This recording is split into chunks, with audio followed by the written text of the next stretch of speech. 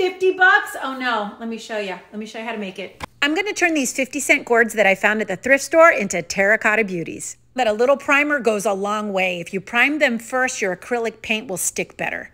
Primer dries really fast, just about five minutes, and then I mixed up my acrylic paint to the color that I wanted. It's sort of kind of yellow, orangey, and it dries a little darker. So in between coats, I used a blow dryer to make the process go faster. And I'm gonna do the same thing with the second coat, paint it, and dry it with a blow dryer. Now, coat three, I'm not gonna dry it with a blow dryer. While the paint is still wet, I'm gonna dust it with baking flour to get this incredible look. Don't forget to spray it with a matte sealer. Follow for more.